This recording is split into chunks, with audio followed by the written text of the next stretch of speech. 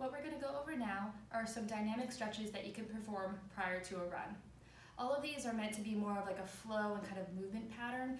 Um, you work within the range that you feel most comfortable doing um, and don't push past pain or your level of restriction, okay? So we're gonna start off with something called the Spider-Man.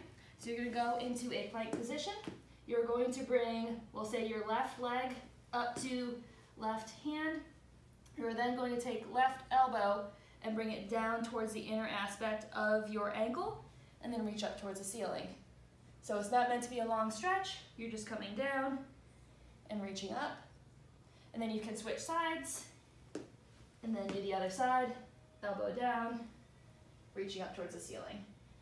So you can do this about 10 times on each side, only holding for a few seconds.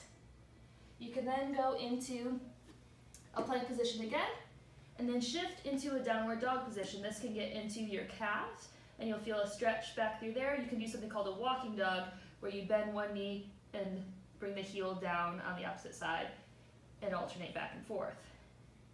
Again, this is meant to be a short duration stretch. You're not meant to hold this for a very long period of time. Another dynamic stretch is something called the inchworm.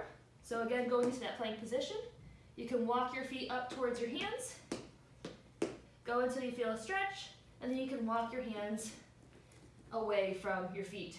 You can also do the opposite direction where you bring your hands back towards your feet, and then walk your feet away from your hands.